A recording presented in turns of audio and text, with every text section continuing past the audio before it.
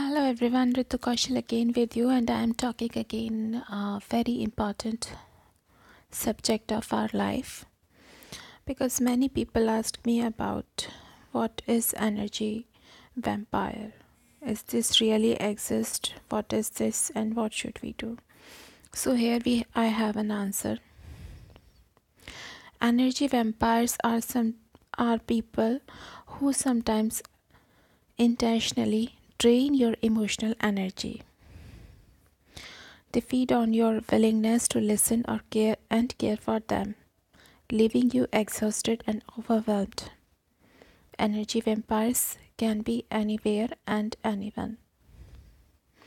They can be your spouse or your best friend. They can be your cubicle mate or your neighbor. Learn this is very important to keep yourself emotionally strong to stop this energy flow. Because these energy vampires actually needs your energy. So this happens. And generally to the people to whom we are very emotional they suck our energy and recharge themselves. They actually do not work anything to improve their energy level but they always live on our energy level it can be done by any phone call as well. Or simple small talk as well. As much you give attention to others emotionally in depth that much uh, that much energy you are gifting them.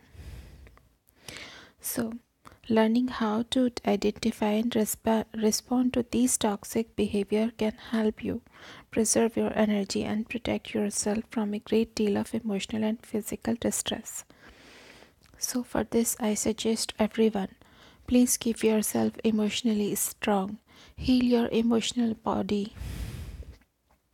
Also, please do regular meditation, centric meditation to recharge yourself and get back your energy in yourself. And use shielding and grounding on continuous basis to keep yourself protected. If someone is unknown so this energy system works strongly but if someone is unknown so please give guidance to your aura a very strong command to keep yourself protected from that person strongly and very deeply. I hope this information will help you all. Please follow all reiki protection system to keep yourself protected from energy vampires if you have any query and you want to learn any course from me or want any tarot reading from me so please email me on the my email kaushalreiki at the rate of gmail.com thank you very much your friend ritu kaushal